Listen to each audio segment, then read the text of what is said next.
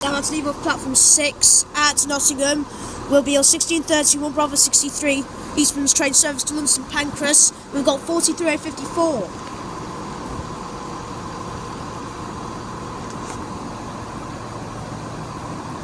Off she goes.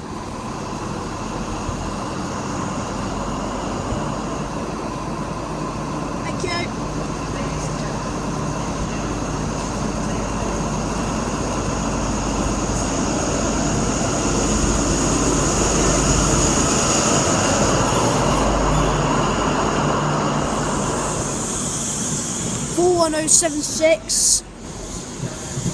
Four oh seven five six. Four two three two eight.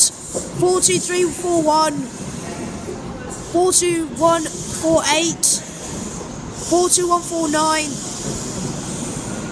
Four four oh fifty one and forty three oh fifty nine to London St Pancras.